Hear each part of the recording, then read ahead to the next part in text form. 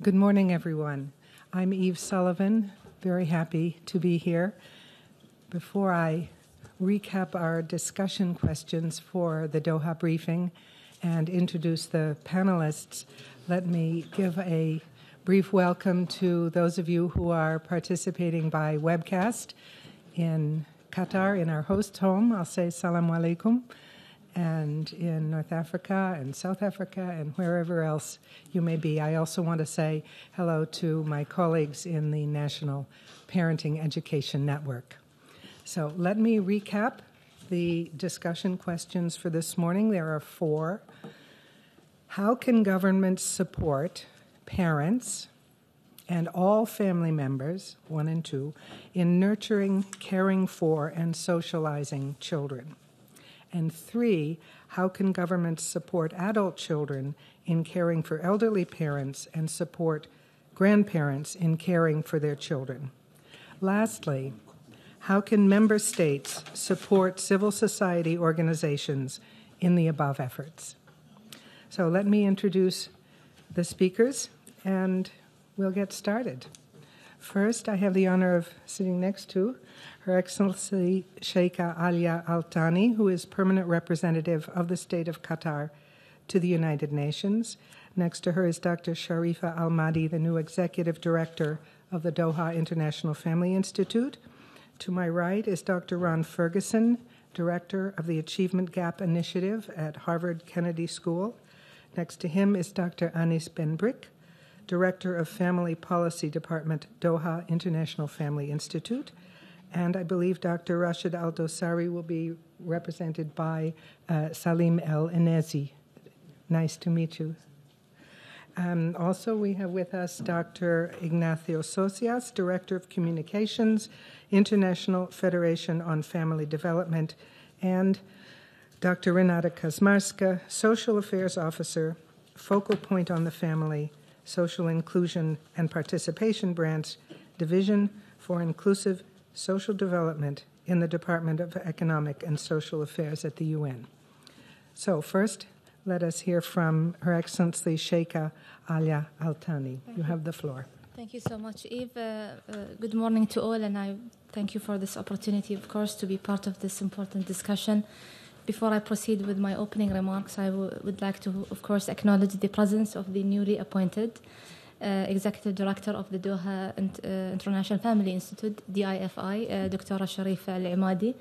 We're very much looking forward to working with you and collaborating with you in the future. And also, um, I would like to begin by recognizing my Qatari colleagues in the room, uh, starting off with His Excellency Mr. Ghanem uh, of course, the Assistant Minister of the Ministry of uh, Labor and Social Affairs and his delegation and as well as I, my Qatari colleagues from the Family Consulting Center, uh, Mr. Rashid Al Dosari, and the uh, members of the uh DIFI Center in Doha.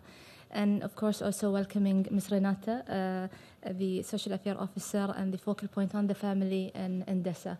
Thank you all for being part of this uh, discussion today. Um, I would like to ex- express again my gratitude and appreciation to the Doha Inter- International Family Institute for leading this event annually since 2009 at the sideline of the uh, Commission on so- uh, Social Development, uh, CSOCD, addressing each time a focus of their work in promoting the role of the family in social development.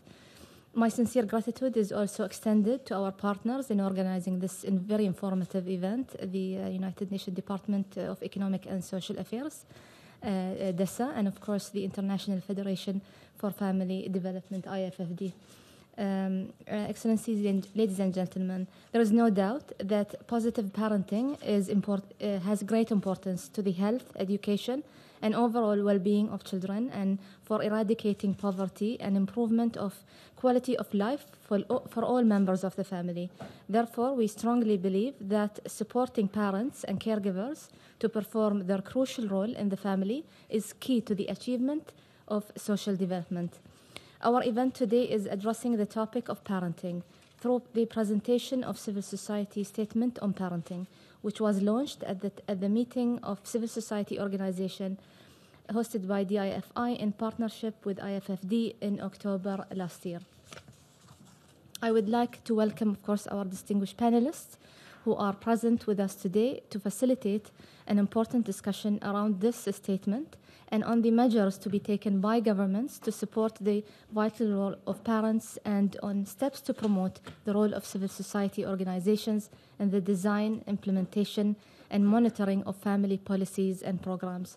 I would like to encourage you all to actively participate in the following discussion to enrich this ongoing process with your valuable experiences and perspectives on the role of positive parenting in empowering family members to become active agents for social change and development.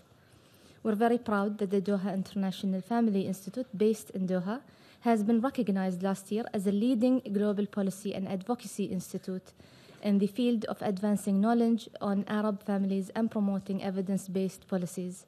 Please allow me to take this opportunity to, of course, welcome again Dr. Sharifa Al Imadi and congratulate her again on her appointment. And I wish you all the best, and I look forward to a very fruitful discussion today. Thank you. Thank you, um, Your Excellency. Let me now turn the floor over to Dr. Sharifa Al Imadi. Thank you. Thank you very much. I will try to speak in Arabic, so uh, my speech will be in Arabic uh, as I'm from Qatar. Uh, um, um, Your Excellency, Ms. the Ambassador, and the permanent uh, representative of Qatar, ladies and gentlemen, I'm very happy to welcome you uh, in this. Um, uh, side event of briefing uh, that is organized by the Doha International Family Institute, which is a member of the uh, Organization for Education and Social Development, and organize this meeting very annually and as a side event uh, at the Commission of Social Development at the UN. And uh, with me uh, today, on this uh, 55th um, uh, session, we have the Division for Inclusive Social Development and the IFFD. Uh, the subject of this uh, to this year, uh, which is uh, how to give this briefing uh, the importance of parenting, and this is as an outcome of the conference of parenting, child welfare, and development. Uh, that uh, conference took place on October 24 23rd um, uh, in Doha uh, with the sponsorship of Her Excellency Sheikha Moza, who is the president of the board of the Qatari Institution for Education, Development, and Social Development. And this again with uh, UNICEF.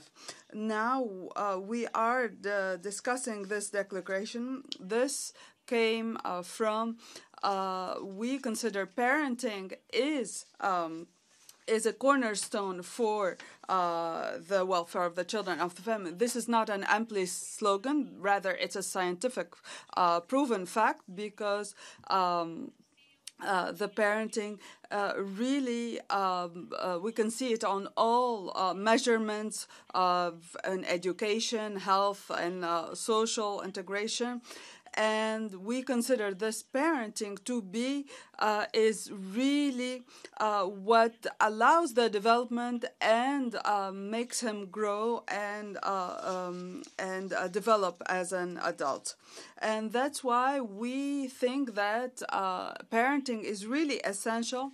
And this declaration put the spotlight to invest in parents and the parenting education and how new policy could be developed uh, to support uh, the parents and uh, um, lays the foundation for good parenting.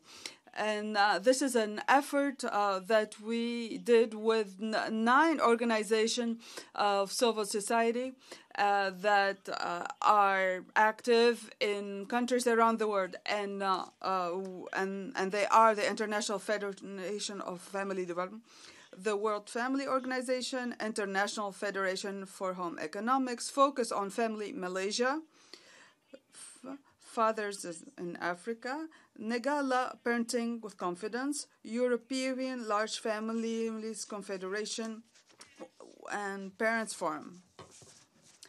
In addition to this, uh, with our partners from the civil society in Qatar, amongst them uh, the Center for uh, Family uh, Counseling, and Salim Adousi is representing. We worked with these partners uh, before the conference and also working on drafting this declaration and how to develop policies and recommendations and all of this constitute a framework to all of them uh, to improve uh, parenting and parenting education.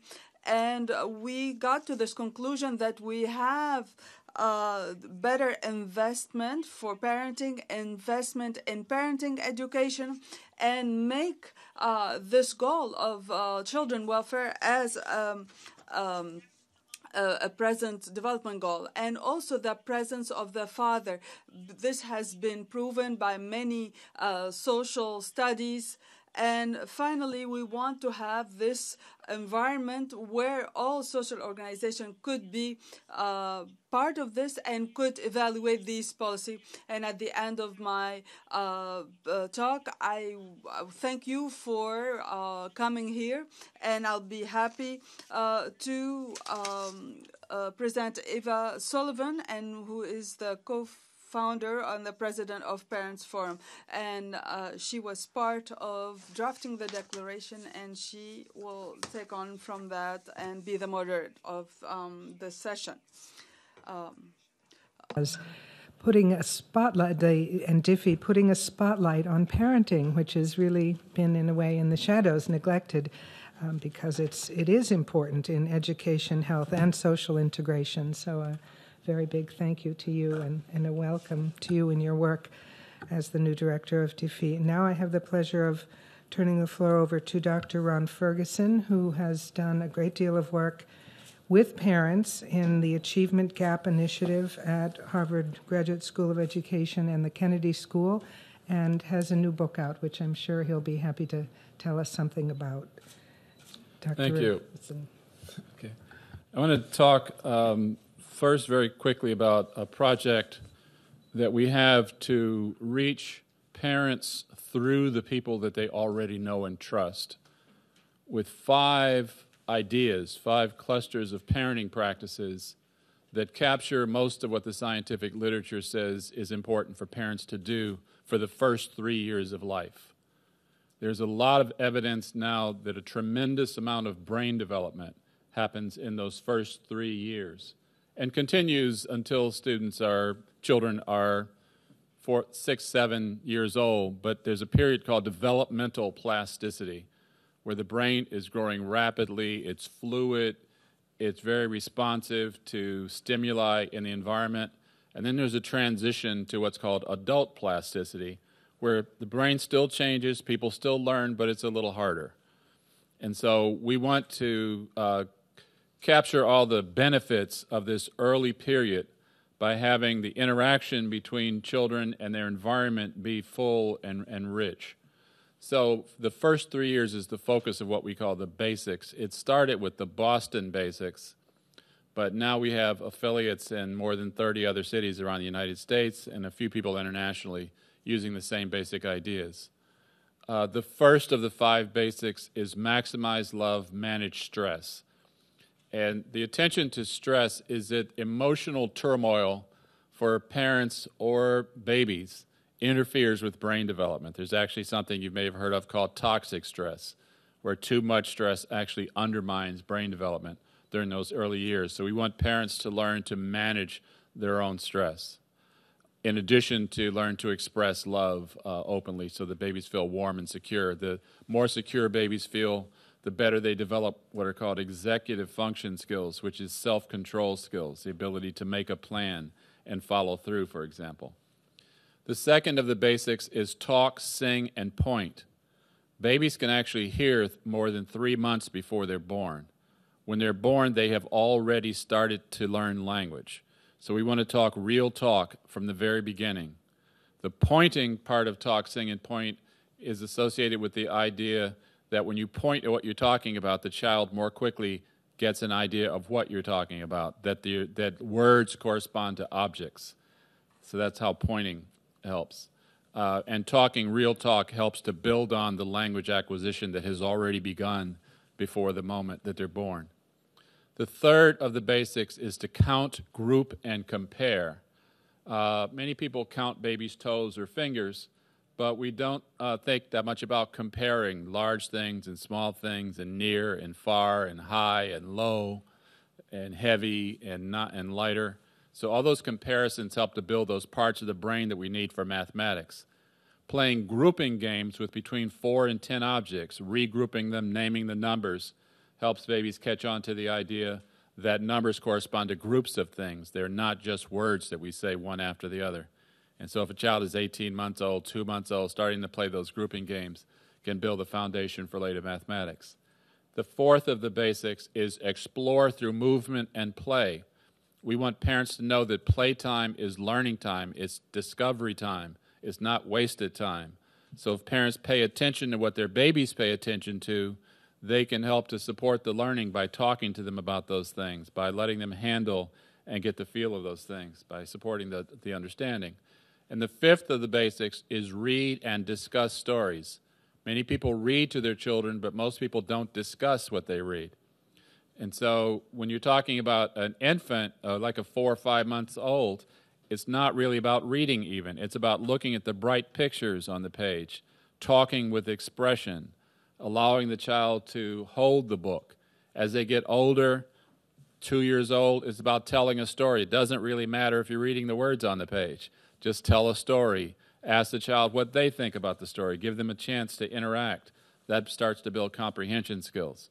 So we have uh, videos, tapes, videos, and handouts and other ways, materials to help us teach parents these things. And we want to reach parents through their doctors, through their religious leaders, through people in the community that they already know and trust. So as we build the structures to do this, we have to build connections into community based institutions that are already there to have them be the delivery arm to reach parents with these things. So at some point, we want these things to become just a part of life. It's how everybody does parenting. Now, that's the first three years. The new book that we just put out is called The Formula Unlocking the Secrets to Raising Highly Successful Children. And what we did for this book is to identify very, very highly successful people. About half of the book, people in the book were graduates from Harvard University. Other people are people that we identified out in the world who were just impressive, and we wanted to know how they got to be that way. So the book is really about how smart people get smart and how they get so purposeful and effective in the world. And we identified eight roles that we see over and over in the stories of these people's lives. We interviewed the people themselves, we interviewed their parents, and let me just tell you really quickly what those roles were. The first role is very much related to what I just talked about. It's called the early learning partner. It's the parent who interacts a lot with the child before the child is five years old, before they start school. And by the time the child starts school, they love learning already. They're hooked on learning. And not just learning, but problem solving. The early learning partner gives the child little things to figure out when they're like building with, with blocks or with other little toys. If they're reading a story, they invite the child to think and figure things out. So the child is a problem solver and often has, has started to learn to read by the time they start school. The second role is the flight engineer. If we think of, of life as a, as a flight, as a journey, and high achievers are on a really high flight through life, the uh, flight engineer is the parent who monitors to be sure things are going well at school and outside the home generally. And if it looks like the flight is going off course or the, off track, that parent will intervene to hold the school accountable or to help the school to be sure that that child is kept on track. The third role is the fixer, which is the parent that makes sure that no opportunity is lost because of lack of resources. So, this parent who's the fixer, even if the parent is poor, and a number of the parents we studied were poor, but their children still turned out to be super successful even if the parent is poor, they will find some way for their child to have access to that important opportunity, especially if that opportunity is related to something the child is very interested in. The fourth role is the revealer, and the revealer shows the child life's possibilities. Lets the child know the world is a lot bigger than our little neighborhood where we live. There are things to be interested in, there are things to do, there are types of people you could grow up to be. So it helps a child to identify what become their passion projects, the projects they're really deeply interested in. It helps a child develop images of possible future selves. They can see themselves in some of the people that they meet. So that's the fourth role, the revealer. The fifth role is the philosopher, who's the parent who takes the child very seriously as a thinker. Even a child might be three or four years old, but they ask questions and the parent thinks hard about the answers that they give. And they, t- they talk to the child as if the child was a little adult, still, so the child can understand, but they take the child very seriously. So many of the people we interviewed said, My parents always talked to me as if I was an adult. They um, help the child think about their own purpose in life. They help the child develop a sense of right and wrong and an understanding of why things are right and wrong. The sixth role is the model. It's the parent who conducts themselves in a way that the child thinks, I want to be like my mommy or my daddy. That they show the child how to do things, they model things for the child. The seventh role is the negotiator who teaches the child how to self advocate, how to speak to more powerful people in a respectful way, but still an effective way to get what they want how to behave in a way that other people will respect them and want to cooperate and help them. And then finally, the eighth role is what we call the GPS navigational voice. It's the parent in the child's head after the child has left home, that voice of the mother or the father uh, still coaching, still advising uh, long after the child has left home. So we find these roles consistently, no matter what socioeconomic status or income level or race or ethnicity.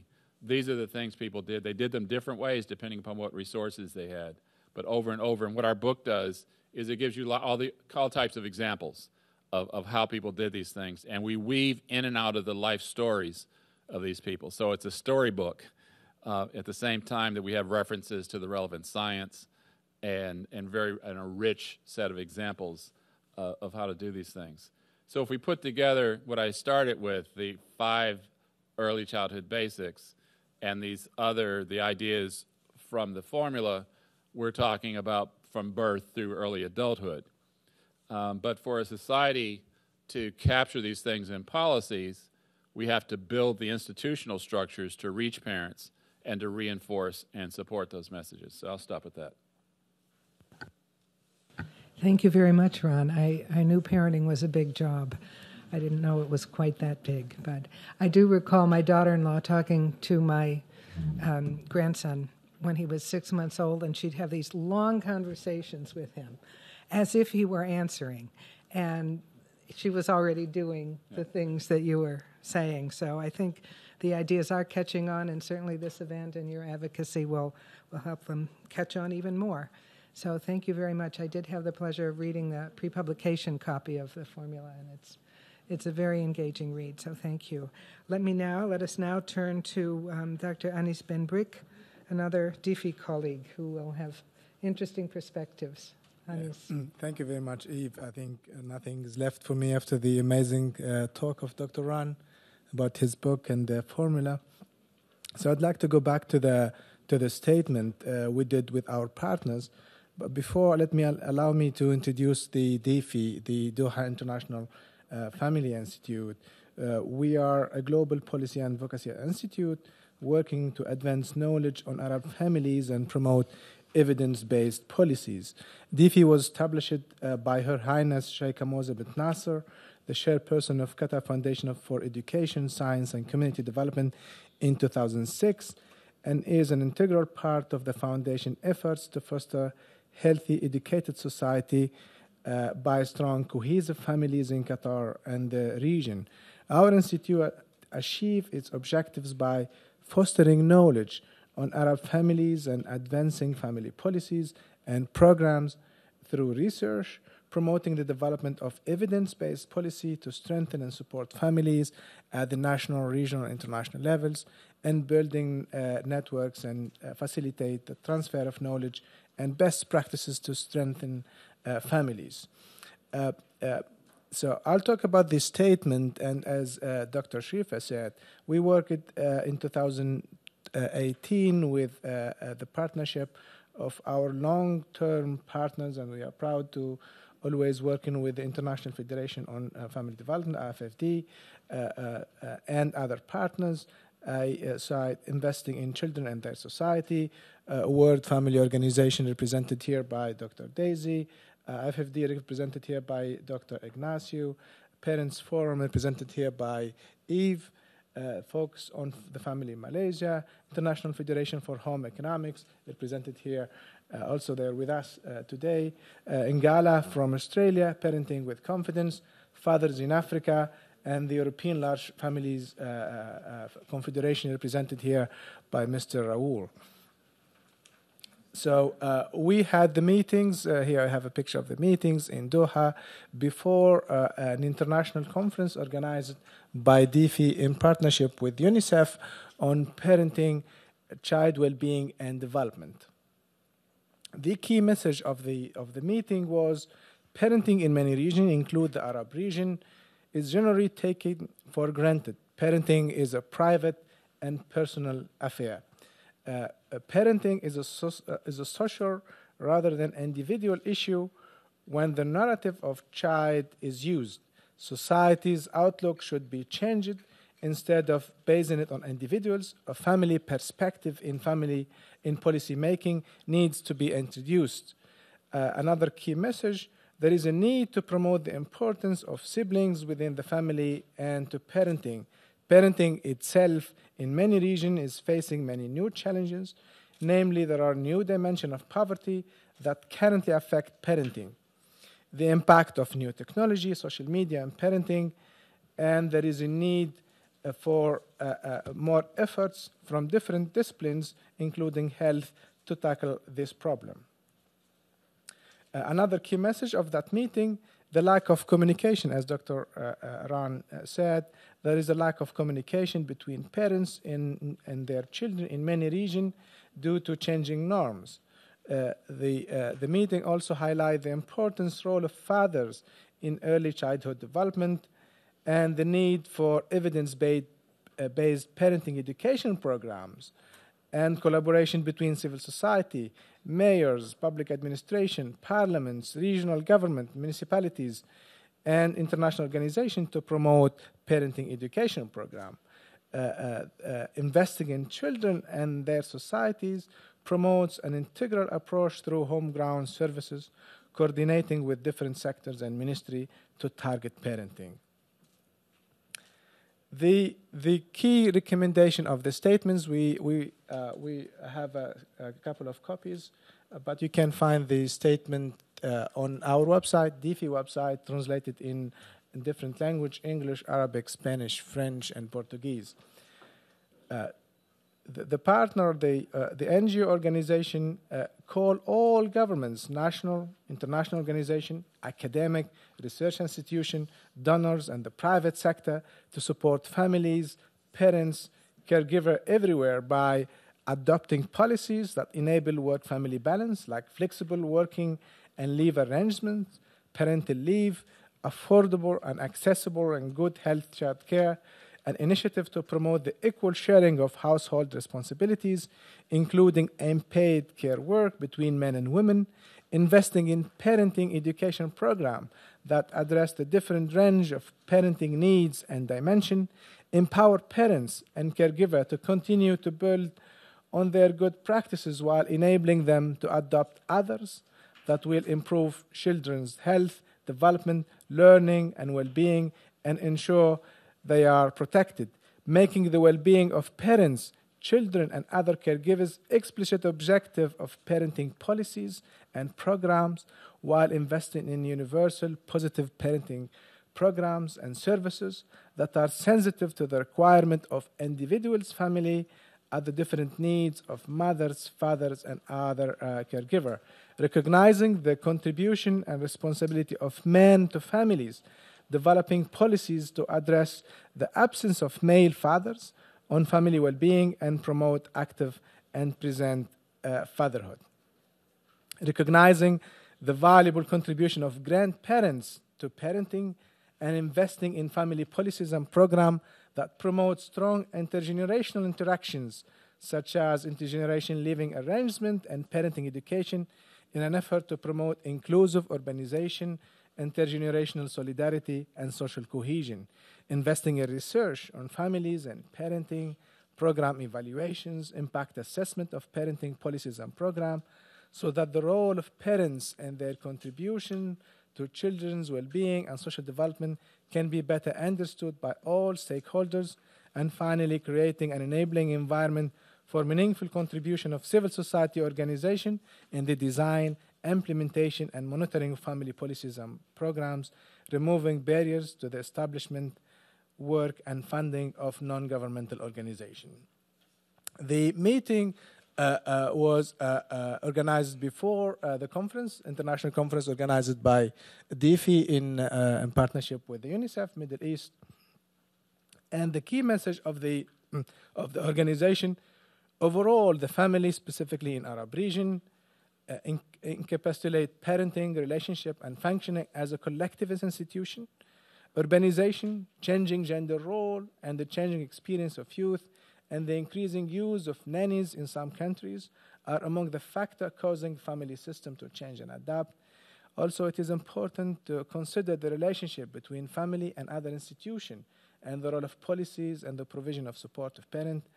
And the main difficulty in adopting and promoting parenting education programs is the notion or the narrative that parenting should be private and personal issue. I'll stop here, uh, uh, uh, then I leave the, the floor for the other panelists. Thank you very much. Thank you, Anis. I find the, um, the restatement of the statement always rich. I hear things when it's presented again that I hadn't heard before, and what struck me this time was the importance of siblings in parenting. And I recall my mother, long gone, saying that I should be sure to get along with my brother and sister because I would be with them and in relationship with them much longer than I would be in relationship with her. And in fact, uh, she came to visit me over the holidays, and here I am on the downhill side of life, still struggling with the fact that I thought mother loved her best. So one morning before even coffee, I asked her, So, did mother really love you best? And she said the perfect answer. She said, She loved each of us best. And I hope that every child feels that they are best loved. And that's what we want for parents to have the capacity to convey that reassurance along with all of the guidance as laid out. So, with, with that thought and gratitude, let me um, turn the floor over to Salim El Enazi to speak, I believe, in Arabic and talk about the work of Wifaq, which is a wonderful institution in Doha. Thank you.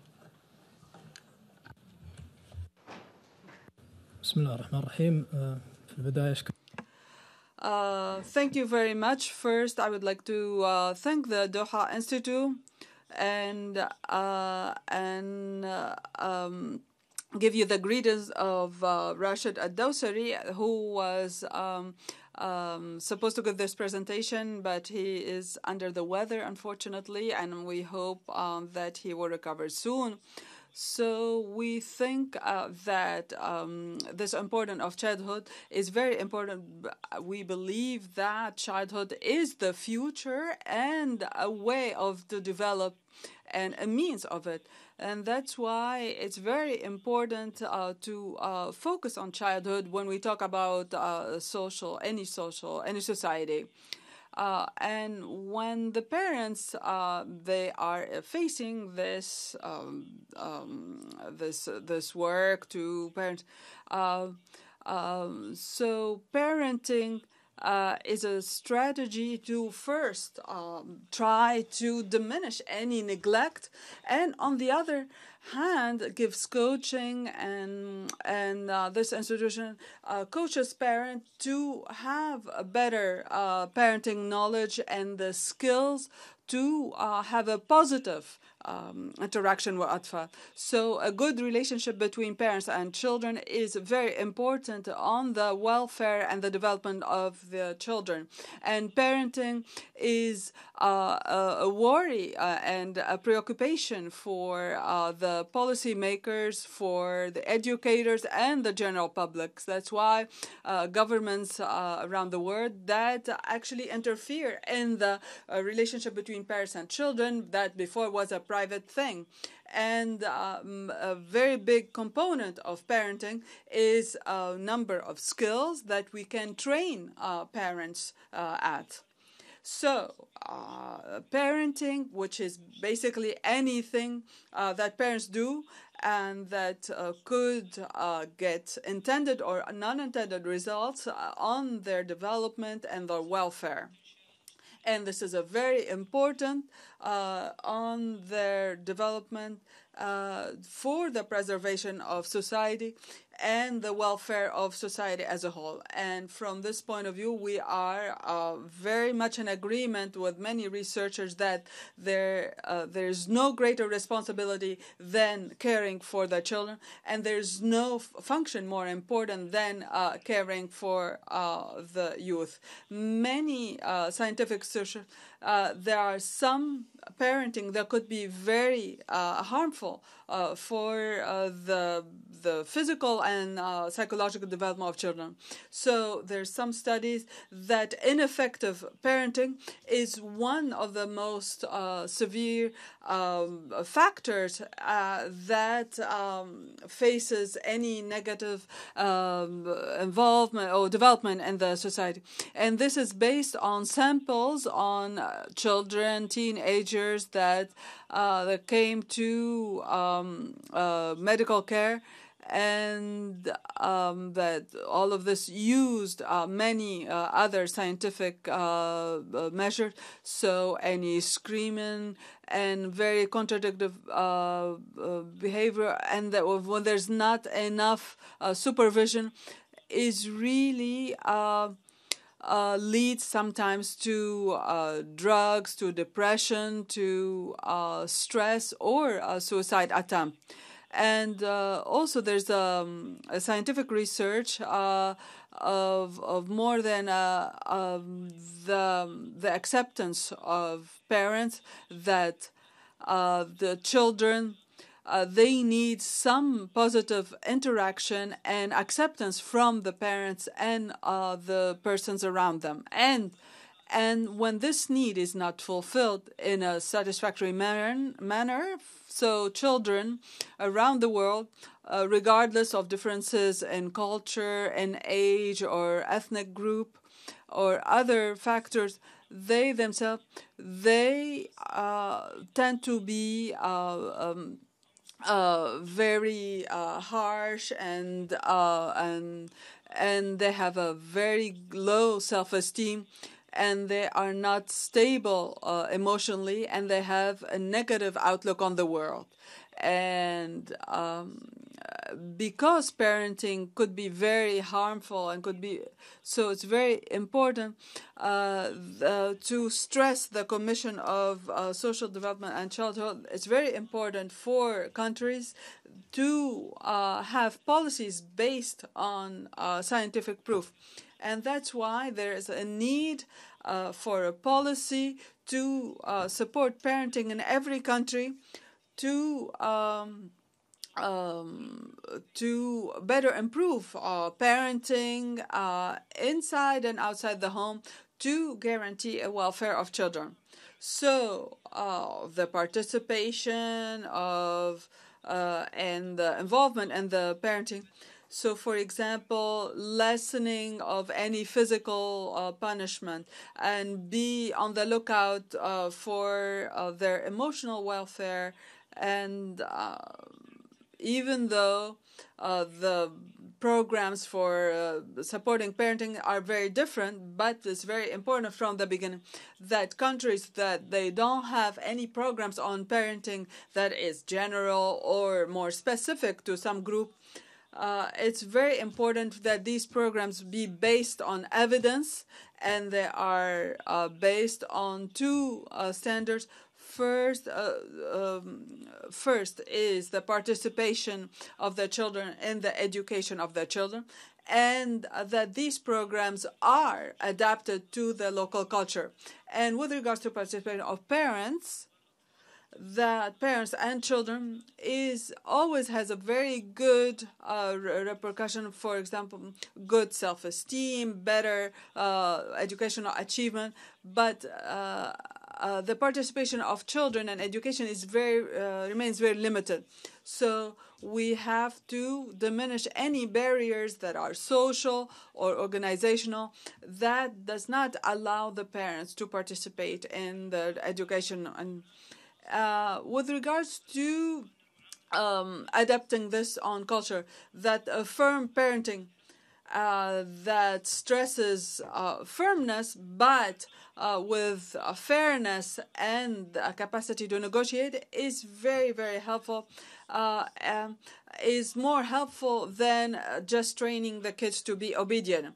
But other um, other studies on different ethnic groups that these results we cannot generalize them and they uh, use the social and ethnic and economic background of the parents. So, therefore, we have to adapt a parenting program that uh, uh, that were developed in high income country with different cultures, and we have these programs should be adapted to improve the skills of parenting and improve upon them and uh, you know diminish bad parenting to have a good uh, environment where the children are more adapted to uh, their general environment and they have welfare and so our program on this uh, organization and develop so in qatar we provide services professional service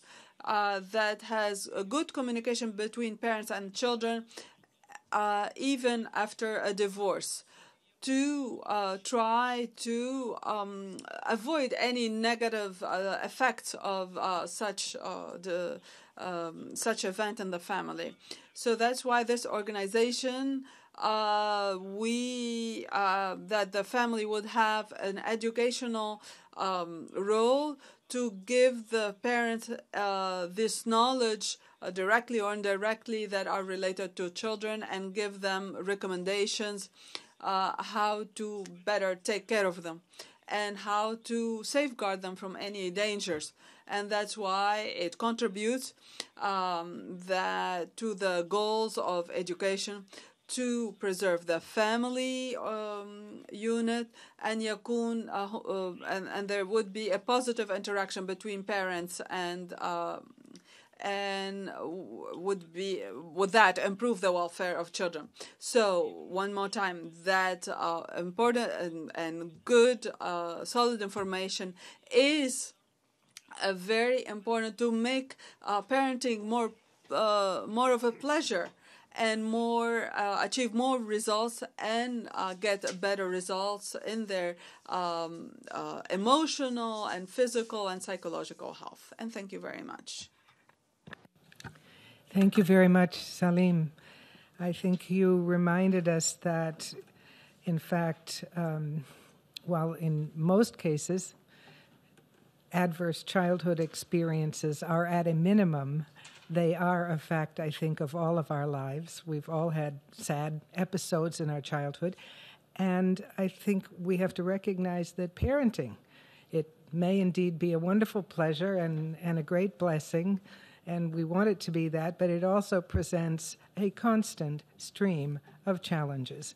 And because the challenges are often complex, we need support. And I think the work of Wifaq in providing support across the board to individuals and to families and to children, I did have the pleasure of visiting your center, and I'm, I'm very impressed and uh, wish those services could be available to, to parents in other locations.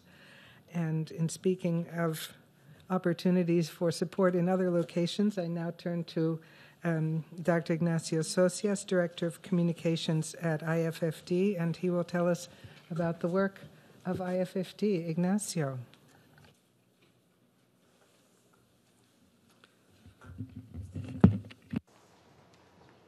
Thank you very much, Eve, for your kind introduction, and thank you very much to the permanent mission of Qatar for sponsoring this event, uh, together with, of course, the Division for Inclusive Social Development of DESA. And once again, I should say that DIFI had the immense value of conceiving the idea of gathering all these organizations to show how important parenting is in our lives, in our society. I was, for instance, very pleased to see that on Christmas Day, the New York Times devoted part of its cover to this topic. Or a few weeks later, there was uh, this special report in The Economist on families in general and parenting in particular.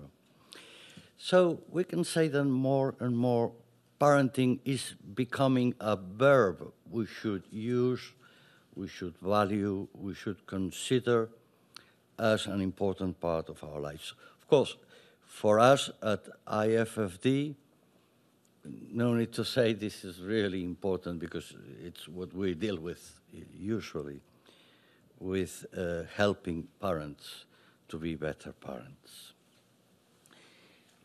With this very, very simple, uh, I don't know if I can show this better. With a very simple graphic, I wanted to show how important parents are for children's life. But I think that we really, after all the interventions we have had, we don't need to show that with a, a real family and with real parenting, children get what they need. While what this lacks, then it comes society, peers, media, and so on, and we see that a children grows up in a different way, not in the right way. But my point today is, is all kinds of parenting the same? And I want to turn into, yes, thank you, I, can, I think I can manage now into the civil society statement when it says that the scientific evidence confirms the importance of positive parenting. So this gives us a hint of what kind of parenting we should turn to when we want to help our children, our societies. Positive parenting practices and behaviors are beneficial for health, education, child well-being, and overall well-being outcomes for children and also for adolescents. This is something that the United Nations has been repeating during the past years. For instance, in this last resolution on the International Year of the Family, uh, approved last November, when it says initiatives to promote involved and positive parenting have been found to be beneficial in advancing social integration and solidarity between generations, as well as in promoting and protecting the human rights of all family members. Of course, this resolution comes from the report of the Secretary General that also mentions different examples in different countries on how positive parenting is working well. Okay, but then what is positive parenting? Without wanting to be really very exhaustive or very, even very comprehensive, let me just give some ideas of what I think mm, it's universally accepted. Positive parenting should be focused on the understanding that children come into the world primed with the tools and capacities to follow a path of optimal growth and development. I'm sure that most of you had visited Rome and had visited this very nice uh, Michelangelo's image called La Pietà. It is said that when he was working on it, someone asked, How are you going to figure out how to do this? And his reply was, The image is there. I only have to take out everything else. So I think this is a good approach for parenting. Not thinking that we should, so to say, make our children be whatever we want them to be. They already have the tools and capacities to follow a path of ultimate growth and development to be what they really are. So, in that sense, we could say that the first characteristic of positive parenting is that it should be more focused on responsiveness than on demandingness. Second, let me just go through this table very, very quickly. Uh, positive parenting is, if we refer to these uh, common styles of parenting used, it's not authoritarian parenting, it's not permissive parenting, it's not neglectful, but authoritative. High expectations for self control, high sensitivity, respectful of child's opinions, but also maintaining clear boundaries to help them not to get out of their way, not of our way. And then let me mention also secure attachment, another concept which I think is very important, and has been developed a lot recently. A close parent child relationship with secure attachment is a sure sign of positive parenting. When there is this secure attachment, the parent makes a child feel safe, secure, and protected. And this is opposed to avoidant attachment and ambivalent or resistant attachment too. And three more basic principles that I think we should consider when trying to help parents uh, and, and trying to promote this positive approach. There should be mutual respect between a parent and child based on the best interest of the child. You all know, I'm sure, that we will celebrate in November the 30th anniversary of the Convention of the Rights of the Child, which basically promotes this best interest of the child, something that is often forgotten in many, many court decisions and even medical decisions. Second, parents should use natural consequences of the child's actions, different from rewards of punishments. Uh, rewards and punishments are usually the quick way, the easy way but not the efficient way to be a parent. And parents should let children do for themselves what they can, even with still inadequate efforts. Uh, if I may add to this something I've experimented along the world,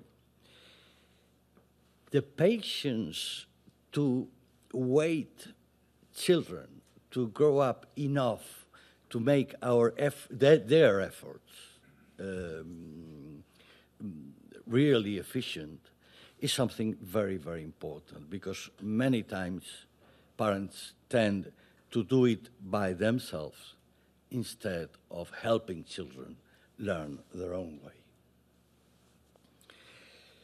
So, what are we expecting with this declaration from the state? in my opinion, we think that when we find parents who are authoritarian or authoritative or try to be authoritative, we need to prevent conflict. Prevention is very important because quite often we see that once the, that conflict arises in children or in parents, it's much more difficult to solve it. So preventing it is very important. And this can be done through parenting education, of course. the last um, resolutions of the UN have also mentioned it. Okay, so how much is doing every single state we want to reach uh, on parenting education? Uh, in the OECD, they usually say, in all these things, if you pay now, you pay less. Investing in parenting education can save a lot of money for the future. But then, when parenting is very permissive, then there's this need for support. And parents shouldn't be replaced, but sometimes someone has to do something about it. And that's the state. And that can very well done through counseling. And third, when, really, when there are really neglectful situations, the state needs to intervene and sometimes even to institutionalize uh, children. But knowing this, that this is the very last step, because we also know that with children, with the custody of the children, has to be taken by the state, things don't usually go very well. So, as parenting is a process, this prevention I'm advocating for now means not only accessing those who are doing it efficiently, but also reaching young people before the process starts. That is why some have suggested, and I think it could be a good idea, including parenting education in the official school curriculum, for instance.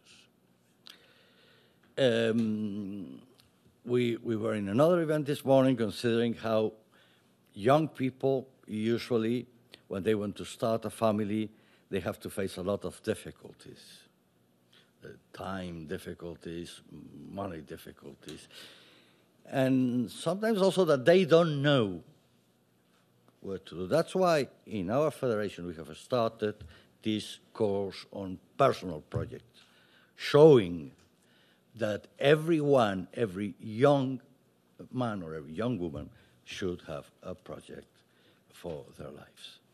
You can see more information about this there in this paper, and I think most of you already have a copy of it. This is one of our last issues on positive parenting. Thank you very much. Thank you, Ignacio. I so appreciate the work of IFFD and, and read with interest the, the sendings that you, uh, that you share with us. Certainly, positive parenting practices are not just one thing. They change with the age of the child, and just when you figured out how to be an absolutely A number one ace parent to the little ones, then they turn six and they're different. And I heard a father say it's like watching paint dry to see their child develop. So patience is certainly a key factor. I appreciate that, Ignacio. We all need reminding of that. And I applaud all the panelists for keeping to good time and hope that our next panelist, Renata Kaczmarska, has the time she needs to share with us. Thank you, Renata.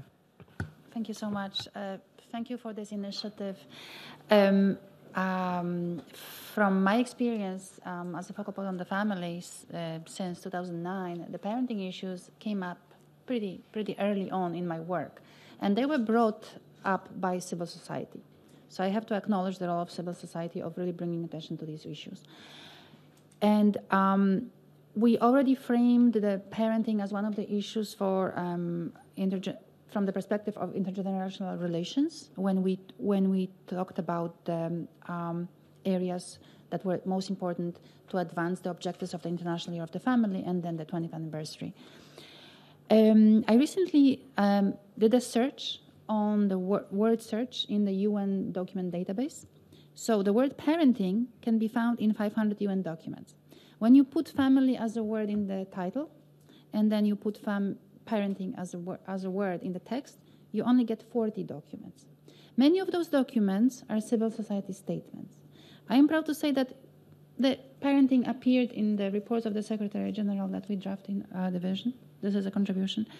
And we were able to, thanks to different stakeholders, to have parenting and then parenting education mentioned in family resolutions, General Assembly resolutions for the first time um, at, at 72nd session and then last session, 73rd session. The, the, the, the framing is becoming, in the G resolution, is becoming um, more focused. So last year we had a focus on parenting education as such. Um, there were some questions when negotiating resolution about difference between parenting and parental. Just to explain that um, the the parent parenting um, when we to distinguish the two uh, two um, parenting from parent, uh, parental education, parenting signif- signifies education about parenting. If we say parental, it may mean education of educating parents. So parenting is about education and how to be good parents. So, and, about positive parenting, just explain, it was a good definition that Ignacio said. Think for, from our perspective, positive parenting implies providing guidance and support for children in friendly family atmosphere rather than using authoritarian methods and punitive measures. And we hear more and more about the positive parenting that helps prevent violence and strengthens family um, resilience.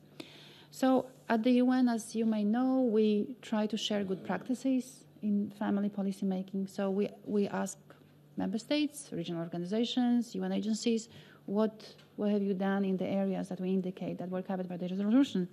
So I, I, uh, we asked um, for the past report of the Secretary General about um, also good practices in parenting education. And I'm happy to report that we got many examples of good practices. We got them from Europe, from Africa, from the Caribbean. Um, one of the interesting programs was, for example, offered in the Philippines, where you have conditional cash transfers for families, mostly vulnerable families. But in, in order to get the grant, the par- parents have to attend family development sessions and that aims to enhancing parental knowledge and skills. And they are held um, monthly and cover various child development issues.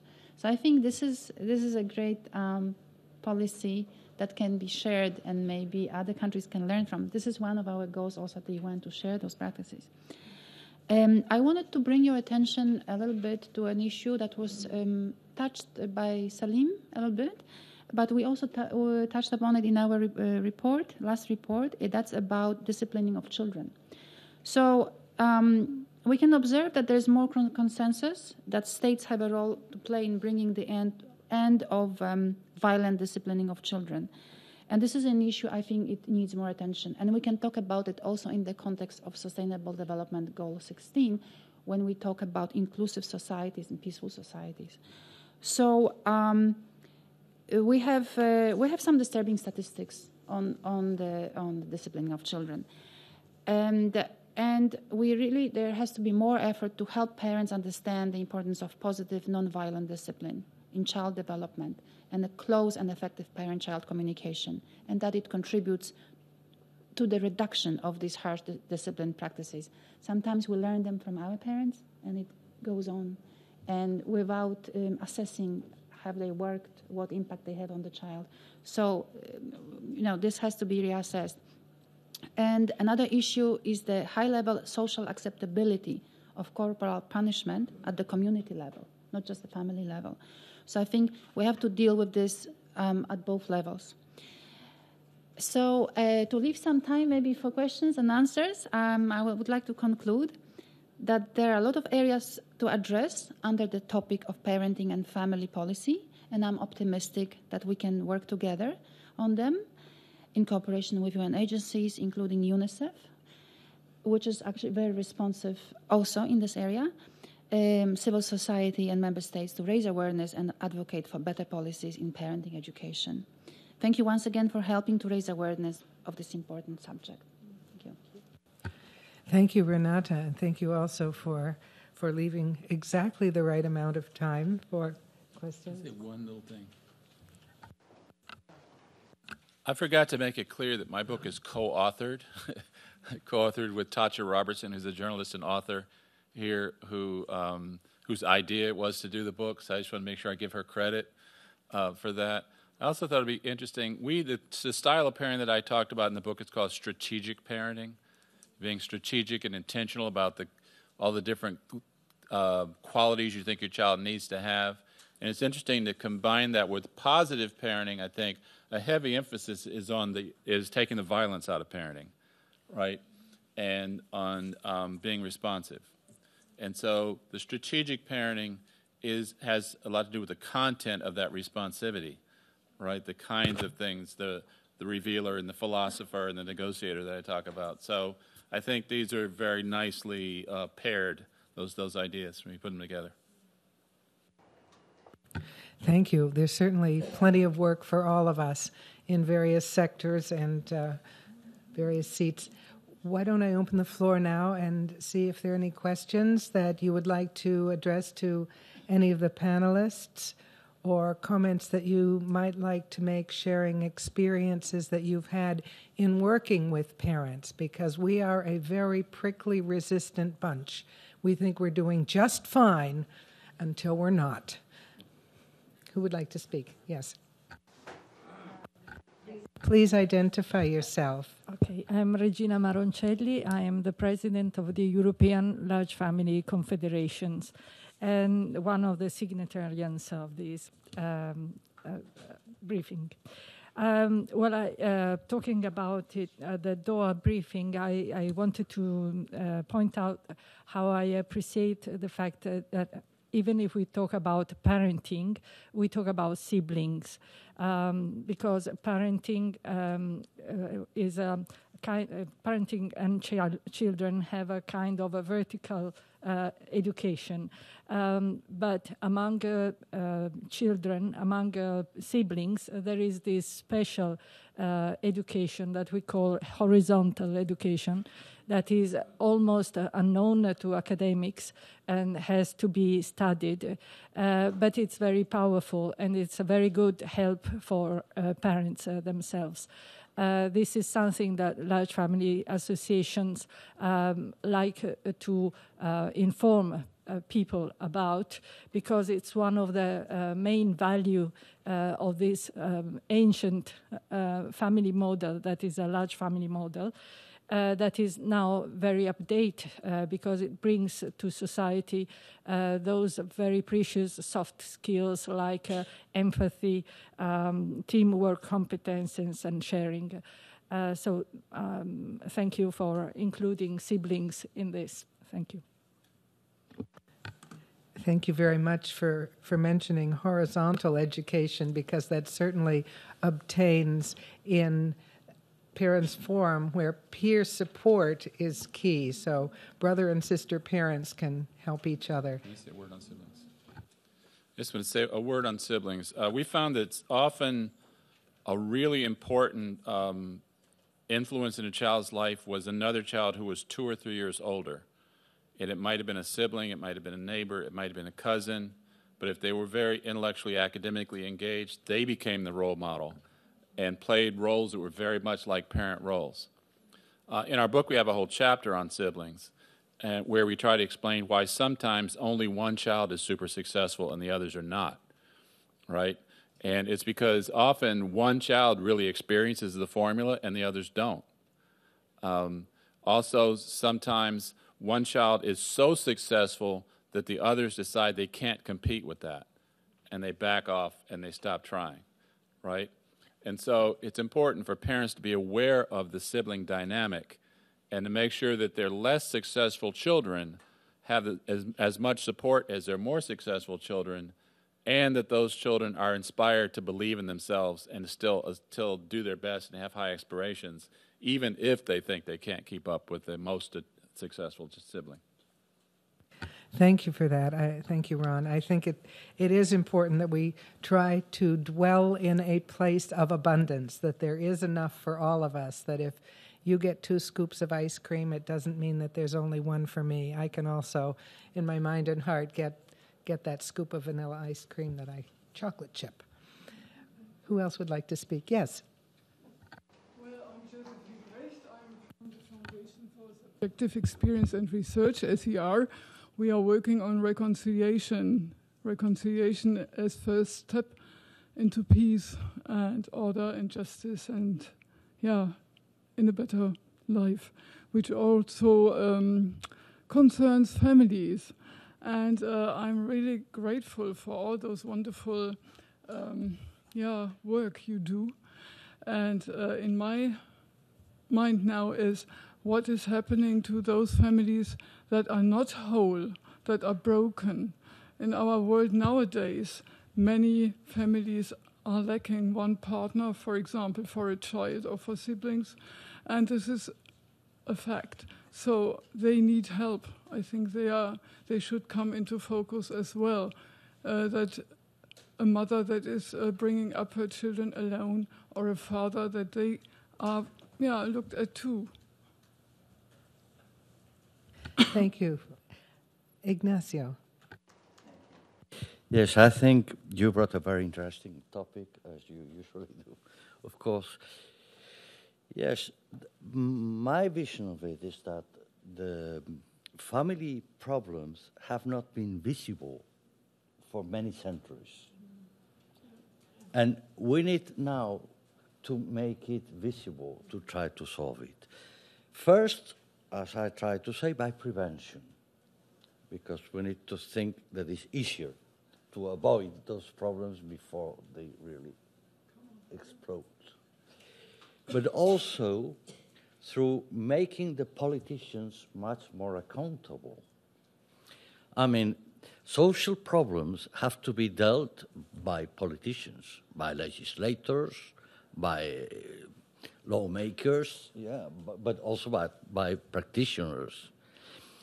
And I think now I've been visiting in different countries social services officers, and they all say the same. We don't get the resources we need in this situation. So I need, we need to, to, to face lawmakers with this and try them to do something about it, even if the results won't be seen in the next legislative period, for instance, even if it won't bring them more votes for the next election, because this is a long run problem that really needs to be faced. Thank you for your question. Thank you, Ignacio.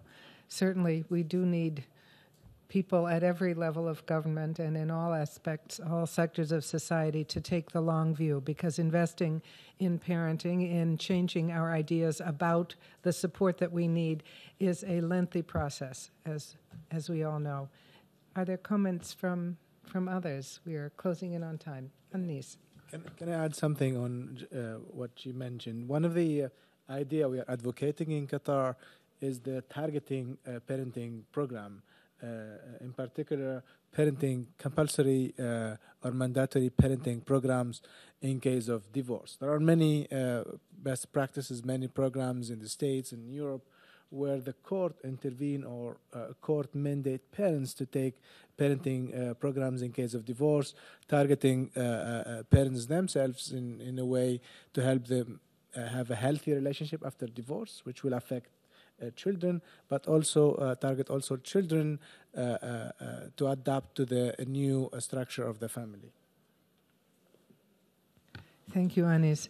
I, I think time is, is upon us, and I guess as moderator, I get the last last few words. I want to thank everyone who is here in the room today for, for coming and being part of this important conversation, especially thanks to, to Difi and our hosts from Qatar. And I hope that we can all acknowledge the broken places within us because we all have those broken places. And there is a phrase, stronger in the broken places. And I hope we can all uh, come to recognize the strengths that, uh, that grow from adversity. Oh, there's a lunch. There's a lunch